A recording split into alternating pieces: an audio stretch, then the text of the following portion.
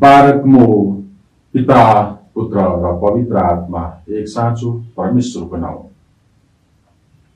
यसु पृथ्वीमा आउनुका धेरैवटा कारणहरूमध्ये एउटा परमेश्वरको राज्यको बारेमा हामीलाई शिक्षा दिन्थ्यो उहाँले आफ्नो सेवाकाई सुरु गर्नुहुँदा लुका चारको त्रिचालिसमा यसो भन्नुभयो मैले परमेश्वरको राज्यको सुसमाचार अरू सहरहरूमा पनि सुनाउनै पर्छ किनकि म यसैका निम्ति पठाइएको परमेश्वरको राज्य के हो? राज्य भनेको राजाले शासन गर्ने क्षेत्र हो। हाम्रा परमेश्वर सबै थोकका सृष्टिकर्ता हुनुहुन्छ। उहाँले सारा संसारमा राज्य गर्नुपर्छ। उहाँले सबै ठाउँमा शासन गर्ने हुनाले उहाँको राज्य सबैतिर हुन्छ। परमेश्वर अनन्त हुनुभएकोले उहाँको राज्य पनि अनन्त छ। उहाँको राज्य समय र स्थानको सीमाभन्दा बाहिर अनन्त हुन्छ। यसु यस संसारमा परमेश्वरको राज्यको सुसमाचार घोषणा गर्न आउनुभयो। उहाँ नै परमेश्वरको राज्यको राजा हुनुहुन्छ। त्यहाँ उहाँले राजा भएर शासन गर्नुहुन्छ। त्यहाँ परमेश्वरको राज्य हुन्छ। परमेश्वरको राज्यले भौगोलिक क्षेत्र वा विशेष जातिलाई जनाउँदैन। यसले परमेश्वरले शासन गर्ने सबै प्रकारका मानिसहरूलाई जनाउँछ। यसोलाई आफ्नो जीवनको राजाको रूपमा स्वीकार गर्ने मान्छेहरू सबैले। परमेश्वरको राज्यमा सहभागी हुन पाउँछन् परमेश्वरको राज्य भनेको स्वर्ग र पृथ्वीमाथि परमेश्वरको शासन र अधिकार हो। जब यीशुले परमेश्वरको राज्य नजिक आइपुगेको छ भन्नुभयो तब उहाँको भनाइको अर्थ हो परमेश्वरले सबै कुरामा शासन गर्न आउँदै हुनुहुन्छ। यस कुराको उदाहरण हामी प्रभुको प्रार्थनामा देख्छौँ। उहाँले हामीलाई यसो भनेर प्रार्थना गर्न सिकाउनुभयो तपाईँको राज्य आओस् तपाईँको इच्छा स्वर्गमा जस्तो छ त्यस्तै यस पृथ्वीमा पुरा होस् परमेश्वरको राज्य भनेको स्वर्ग र पृथ्वीमा परमेश्वरको इच्छा पुरा हुने कुरा हो मत्ती दसको पाँचदेखि आठमा यीशुले आफ्ना चेलाहरूलाई बोली वचन र दयाको काम दुवैद्वारा परमेश्वरको राज्यको घोषणा गर्न सिकाउनु भयो यीशुमा उद्धार पाएका मानिस परमेश्वरको राज्य आओस् भनी प्रार्थना गर्नेहरू र यसका लागि जीवन जिउनेहरूद्वारा आज संसारमा परमेश्वरको राज्य बढेर जाँदैछ। प्रकाश एघारको पन्ध्रमा लेखिएको छ संसारको राज्य हाम्रा प्रभु र उहाँका ख्रिसको राज्य भएको छ अनि उहाँले सदा सर्वदा राज्य गर्नुहुनेछ अब यो वचन चाँडै पुरा हुनेछ। परमेश्वरको राज्यको सुसमाचारले मानिसहरूको जीवनलाई परिवर्तन गर्दछ।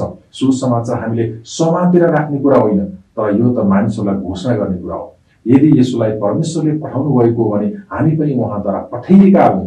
यसु यस पृथ्वीमा हिँड्नु भएको समयमा जस्तै आज पनि संसारमा परमेश्वर राज्यको अत्यन्तै खाँचो छ।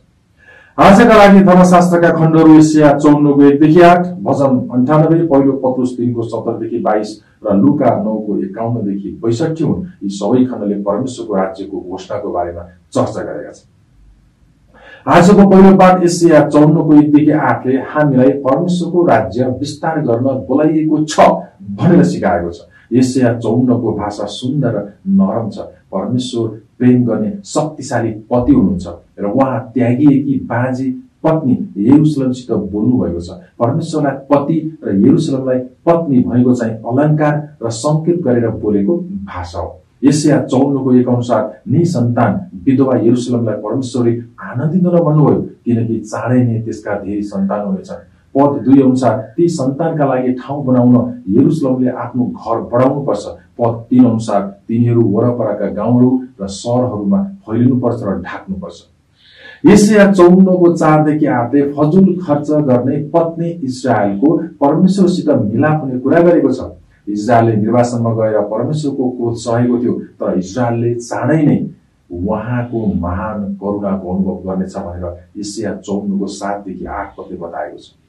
पद चार अनुसार परमेश्वरसँग इस्रायलको फेरि मिलाप भयो। तब इसरायलीहरूले बेबुलनको निर्वासनमा रहँदा जिउनु परेको विधवाको जस्तो निरस जीवनलाई तिनीहरूले चाँडै बिर्सनेछ। इजरायलीहरू परमेश्वरप्रति अविश्वासी भएर बेबुलनको कैदमा परेका थिए। यस खण्डमा यसैया तिनै निर्वाचितहरूसित बोल्दै थिए। बेबुलनको कैदमा तिनीहरू बाजी स्त्रीहरू जस्तै भएका थिए। निर्वासनमा हुँदा इजरायलीहरू सबैभन्दा निम्न स्थितिमा पुगे। यस्तो बेलामा परमेश्वरले यो आज्ञा र दर्शन दिनुभयो। बेबिलोनको कैद सत्तरी वर्षको थियो। त्यो इसरायलको सबैभन्दा अन्धकारमय समय थियो। परमेश्वरका जनहरू अविश्वासी भएका हुनाले उहाँले तिनीहरूलाई त्यस्तो दण्ड दिनुभयो। यसै अगमवक्ताले इस्रालाई बाँझे स्त्रीसँग तुलना गरेका छन्। आशाहीन र निराश मानिसहरूका हृदयमा उहाँको आशा हालिदिन। परमेश्वरले आफ्नो सेवक यसैयाद्वारा बोल्नुभयो। परमेश्वर दया र क्षमाका परमेश्वर हुनुहुन्छ। यति बेला इसरायलीहरूको अवस्था आशाहीन देखियो। तापनि उहाँका जनहरूका लागि परमेश्वरसँग अझै पनि महत्वपूर्ण उद्देश्य र योजना थियो। परमेश्वरको उद्देश्यले आश्चर्यजनक मोड लिनेछ। यसैले पद एकमा यसैले इसरायलीहरूलाई यसो भनेका छन् ए बाजे स्त्री गीतका हे सुत्के पीडामा कहिले नपरेकी स्त्री त जसले कहिल्यै बालक जन्माएकी छैनस् आनन्दले करा किनकि बाजे स्त्रीका सन्तान विवाहित स्त्रीका भन्दा ज्यादा हुनेछ। यस्ता उच्चाड मानिसहरूलाई फललाई बनाउने परमेश्वरको योजना थियो। उहाँसँग तिनीहरूलाई बचाउने र आशिष दिने र संसारलाई आशिष दिन इजरायलीहरूलाई प्रयोग गर्ने योजना पनि थियो। मानिसहरूले आफ्ना सृष्टिकर्ता र साँचो स्वामी परमेश्वरसँगको सम्बन्ध तोडेका थिए। त्यो सम्बन्ध फेरि जोड्नुभन्दा अघि उहाँले तिनीहरूका पापको समस्याको समाधान गर्नु परेको थियो। यसो त्रिपन्न अध्यायमा परमेश्वर इजरायलीहरूलाई उद्धारकर्ता मसिहको प्रतिज्ञा दिनुभयो। यसया त्रिपन्नको चारदेखि आठमा लेखेको छ निश्चय नै उसले हाम्रा निर्बलताहरू बोक्यो र हाम्रा दुःख भोग्यो। ऊ हाम्रा अपराधहरूका निम्ति छिडियो हाम्रा अधर्महरूका निम्ति ऊ पेलियो हामीमा शान्ति ल्याउने दण्ड उसमाथि पर्यो र उसको कोर्राको चोटले हामी निको भयो। परमेश्वरले आफ्ना जनहरू र संसारलाई बचाउने उहाँको योजना प्रतिज्ञा गरेको उद्धारकर्ता मसिहबाट सुरु हुन्छ। मसिहले हाम्रा सबै पाप आफैमाथि लिनुहुनेछ र हामीलाई चङ्गाई र शान्ति दिनुहुनेछ। यसु यो अगमबाडीको साँचो पूर्णता हुनुहुनेछ। एसियाले चौन अध्यायमा निर्वासनबाट फर्केका इसरायलीहरूको दुःखद र निराशाको अवस्थाको वर्णन गरेका छन्। सुसमाचार यो छ। परमेश्वरले तिनीहरूलाई प्रेम गर्नुहुन्छ। उहाँले तिनीहरूका घाउ निको पार्नुहुनेछ र तिनीहरूका पाप हटाउनुहुनेछ त्यसैले पापी मानिसहरूका लागि आशा छ। परमेश्वरलाई ग्रहण गर्ने पापीहरूका लागि परमेश्वरको अनुग्रह सिद्धैमा उपलब्ध छ तर परमेश्वरका लागि पनि यो कुरा महँगो छ। यसैया चौन्नमा भनेको छ परमेश्वरले इसालीहरूका हृदयमा आशा रोप्नुहुन्छ। उहाँले तिनीहरूप्रतिको आफ्नो प्रेम स्वीकार गर्नुहुन्छ र तिनीहरूलाई छुटकारा दिने प्रतिज्ञा गर्नुहुन्छ। एसियाद्वारा परमेश्वरले भन्नुहुन्छ गीत गा। आनन्दले कर। किनकि परम प्रभु भन्नुहुन्छ किनकि बाँझी स्त्रीका सन्तान विवाहित स्त्रीका भन्दा ज्यादा हुनेछ। इसरायलीहरू आशाहीन र आनन्दहीन भएका थिए। तिनीहरूका जीवन अर्थहीन भएको थियो। यो कुरा निराश भएका इसरायलीहरूका लागि गर्ने प्रतिज्ञा परमेश्वरले दिनुभयो। तर यो असम्भव जस्तै देखियो। परमेश्वरले भन्नुभयो गीत गा जसले कहिले बालक जन्माएको छैनस् आनन्दले करा अब इसरायलीहरू उजाड भएकी स्त्रीहरू चाहिँ समाप्त हुने छैनन् भनेर परमेश्वरले प्रतिज्ञा गर्नुभयो। उहाँले त्यसलाई आशा र दर्शन दिनुभयो। उहाँले भन्नुभयो तेरो पालको ठाउँ बडा तेरा पालका पर्दाहरू तन्का तेरा डोरीहरू लामो पार र तेरा किलाहरू बलियो गर किनकि त बढेर दाहिने र देब्रेतिर फैलिनेछस् र तेरा सन्तानले जाति जातिलाई उनीहरू बसेका ठाउँबाट निकाल्नेछन् र उनीहरूका निर्जन सहरहरूमा ती बमोजिम गर्नेछन्। यी पदहरूमा चर्चलाई आफ्नो पाल ठुलो बनाउन भनेको यहाँ एउटा दृश्य छ। यो अरबको कुनै घुमन्ते जातिले आफ्नो पालका डोरीहरू तानेर लामो पारेको र पाल भित्रको ठाउँ फराकिलो पारेको दृश्य हो। चर्च फेरि फर्स्ट आउनेछ र आशिषको समय आउनेछ भनेर परमेश्वरले प्रतिज्ञा दिनुभयो। परमेश्वरले शान्तिको प्रतिज्ञा गर्नुभयो। उजाड र विनाशको ठाउँमा परमेश्वरले सुन्दरता र समृद्धिको प्रतिज्ञा गर्नुभयो। तिनीहरूको लाज समाप्त हुने छ र उहाँको दया उहाँका मानिसहरूबाट हट्ने छैन भनेर उहाँले प्रतिज्ञा गर्नुभयो। यी पदहरूलाई नयाँ करारले ख्रिसको आगमन र गैर विश्वासीका बीचमा सुसमाचार लैजाने प्रसङ्गसँग अर्थ लगाएको छ। यो कुरालाई प्रेम पन्ध्रको पन्ध्रदेखि अठारमा हेरौँ। यी पदहरूले चर्च र संसारमा चर्चले गर्ने मिसनको कामलाई जनाउँछ। विलियम केरीले यस खण्डलाई चर्चको सन्दर्भमा लागू गरे र आधुनिक मिसनरी कार्यकलापको सुरु गरे। केरीले यसको सारांश यसरी बताएका छन्। परमेश्वरबाट ठुला कुराहरूको आशा गर परमेश्वरका लागि महान कार्यहरू गर्ने कोसिस गर। केही मिसनरी भएर भारतमा आए र जीवनमा कहिले सुसमाचार नसुनेका भारतीयहरूका बिचमा चर्चहरू खडा गरे। तिनलाई आज आधुनिक मिसनका पिता भनिन्छ। एसियाले भविष्यमा चर्चका उज्यालो दिनहरू आउने कुरा गरेका थिए। जब चर्चले सुसमाचार प्रचार गर्नेछ र संसारभरका मानवहरू चर्चभित्र आउनेछन् तब परमेश्वरका जनौरसँग प्रभु यशु ख्रिस्टको चर्चमा सङ्गति गर्नेछन् आज संसारमा यो कुरा पुरा हुँदैछ किनकि सारा संसारमा सुसमाचार पुग्दैछ तर अझ योभन्दा ठुलो रूपमा काम हुन बाँकी छ। हरेक ठाउँका मान्छेहरू चर्चमा भेला हुनेछ। परमेश्वरको चर्चको महिमाको वर्णन गर्दा एसियाले अध्याय साठीमा त्यो दिनको आशा गरे र पद एकदेखि तिनले यसरी यसको वर्णन गर्छ। उठ प्रकाशमान हो। किनकि त्यो प्रकाश आएको छ र परम प्रभुको महिमा तमाथि उदाएको छ। हेर अँध्यारोले पृथ्वीलाई र घोर अँध्यारोले मानिसहरूलाई ढाकेको छ र परम प्रभु तमाथि चम्काउनुहुन्छ र उहाँको महिमा तमाथि प्रकट हुन्छ। जाति जाति तेरो प्रकाशमा र राजाहरू तेरो प्रभातको ज्योतिमा आउनेछ। संसारमा अँध्यारोले ढाके पनि त्यसमा परमेश्वरको ज्योति चम्कनेछ। त्यो ज्योति उहाँको चर्चको ज्योति हुनेछ। जाति जातिहरू परमेश्वरको त्यो ज्योतिमा आउनेछ यसर्थ सियोनको महिमा हुन बाँकी छ। धर्म त्यागमा चर्चको अन्त्य हुने छैन। चर्च महिमामा पुग्नेछ। हामीले विश्वास गर्ने कुरा पनि यही हो। सारा संसारमा हरेक जाति र मान्छेको कहाँ सुसमाचार पुर्याउने क्रममा हामीले काम गर्नुपर्छ। हामी परमेश्वरको राज्य विस्तार गर्न बोलाइएकाहरू छौँ। आज वाचन गरेको भजन सङ्ग्रह अन्ठानब्बेले हामीलाई राजा परम प्रभु परमेश्वरको प्रशंसाको भजन गाउने प्रेरणा दिएको छ। यो आउन लागेको परम प्रभुको दण्डमा आनन्दित हुने भजन हो। पद दुईले बताउँदछ प्रभुले पृथ्वीका सबै छेउमा आफ्नो उद्धार प्रकट गर्नुभएको छ। प्रशंसाको यस भजनमा हामीलाई आनन्द साथ गराउन र बिडा तुरै र सिङ बजाउँदै भजन गाउन उत्साह दिएको छ। प्रकृतिले कस्तो प्रतिक्रिया दिन्छ त? समुद्र गर्जन्छ नदीहरूले ताली बजाउँछन् र पहाडहरू आनन्दित हुन्छन्। धेरै शताब्दीसम्म पापमा फसेपछि सारा सृष्टिलाई छुटकारा दिएको छ। शैतानलाई परमेश्वरका जनहरूलाई अत्याचार गर्ने अनुमति हुने छैन। परम प्रभु फर्केर आउनुहुनेछ र उहाँले आफ्नो धार्मिक न्यायद्वारा सबै दुःख र पापहरू हटाउनुहुनेछ यसर्थ हामीले हाम्रा राजा परम प्रभुको स्तुति गाउनुपर्छ र उहाँको राज्यको घोषणा गर्नुपर्छ। पहिलो पत्रुस तिनको सत्तरदेखि बाइसको खण्डले दुःख कष्ट उहाँको राज्यको घोषणाको हिस्सा हो भनेर सिकाएको छ। पद तेह्रमा पतुसले सोध्छन् यदि तिमीहरू भलाइका निम्ति उत्साहित छौ भने तिमीहरूको हानि गर्ने को हुन्छ?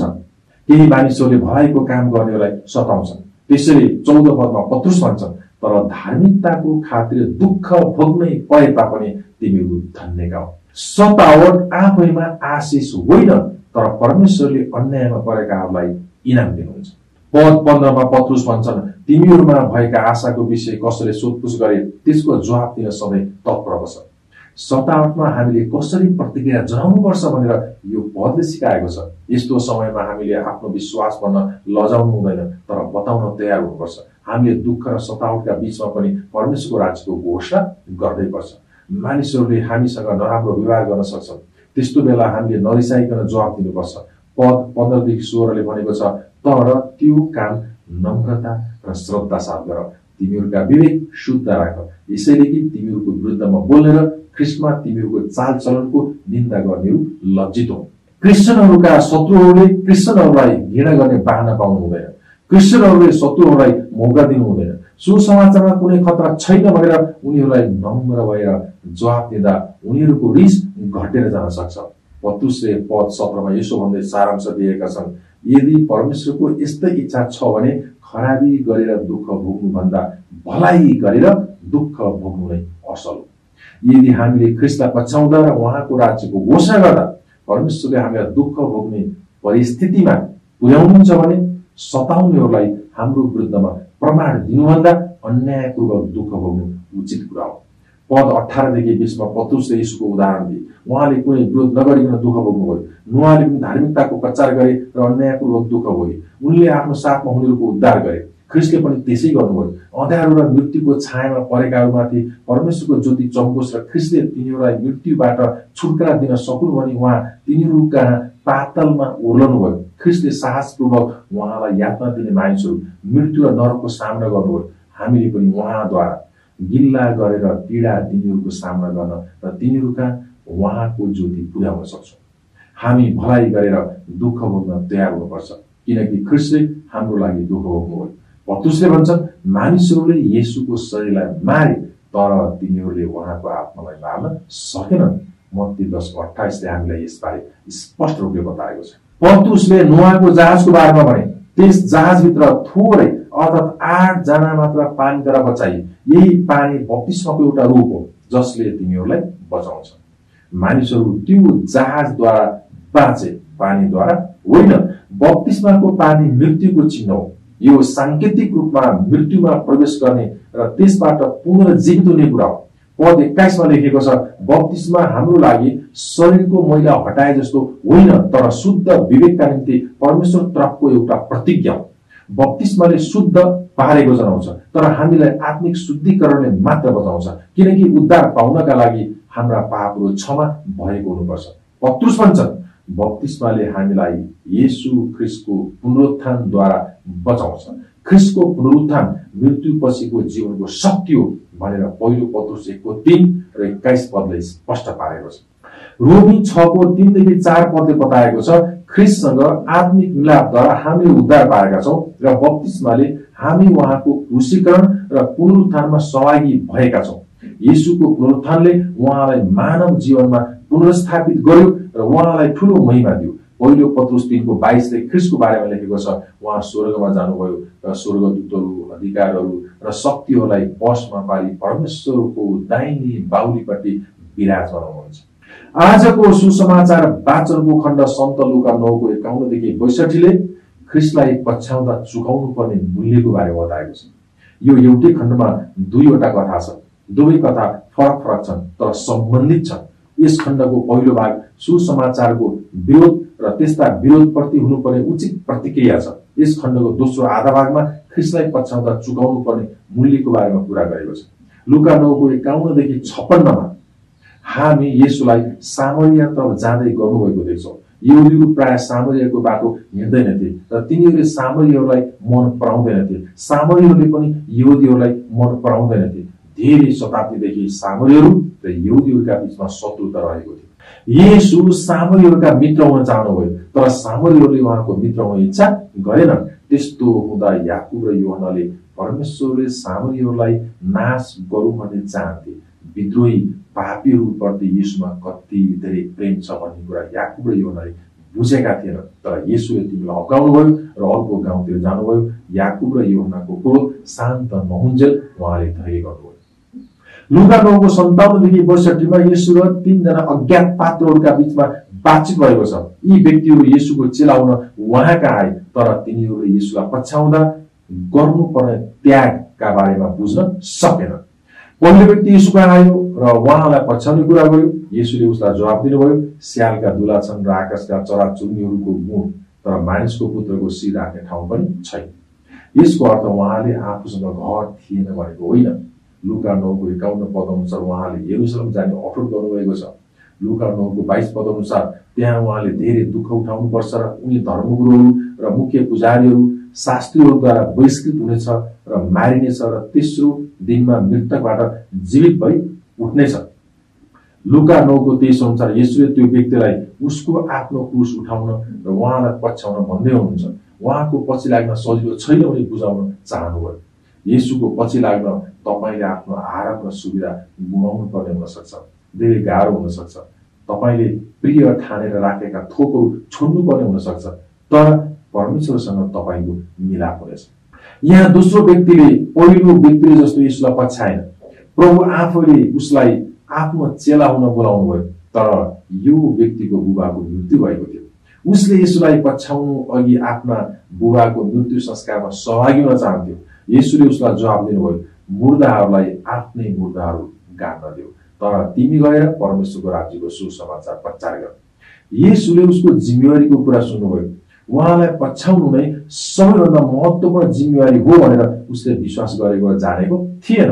यो व्यक्तिले यसो चाहिन्छ।